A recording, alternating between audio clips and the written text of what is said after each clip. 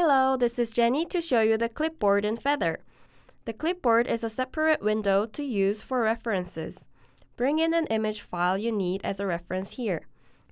Bring images that is handy in the side while drawing with Feather by using the clipboard. First, this is the icon to open the clipboard.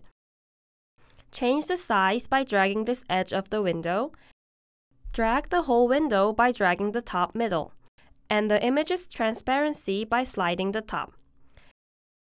Outside the window of the clipboard works as it should.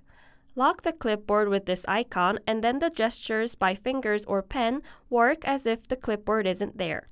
Also, the color picker works on the clipboard, so pick a color from the image and use it for the stroke color. Tap this icon on the bottom right and choose Import to Stage. Then, this image will be imported into the 3D scene depending on the current view. After importing this image, drawing on top of it becomes possible, and the Resource tab is used to manage the settings.